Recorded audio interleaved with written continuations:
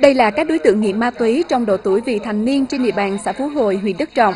Thông qua kiểm điểm bằng nhiều hình thức biện pháp tuyên truyền, giáo dục đã cảm hóa các đối tượng, giúp họ nhận ra được lỗi lầm của mình trong quá khứ, từ đó khắc phục sửa chữa, hoàn lương để trở thành công dân có ích cho gia đình và xã hội.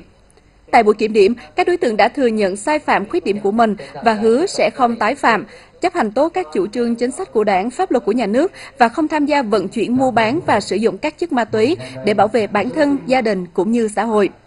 Tại buổi kiểm điểm, đại diện các đoàn thể của xã đã chỉ ra những tác hại của ma túy, từ đó các đối tượng đã hứa và quyết tâm nêu cao ý thức tự giác và kiên quyết từ bỏ ma túy.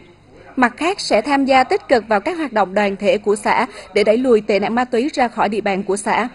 Công an huyện đã giao các đối tượng cho gia đình và các đoàn thể quản lý giáo dục tại địa phương, kèm cặp giúp đỡ họ trở thành công dân có ích cho gia đình và xã hội.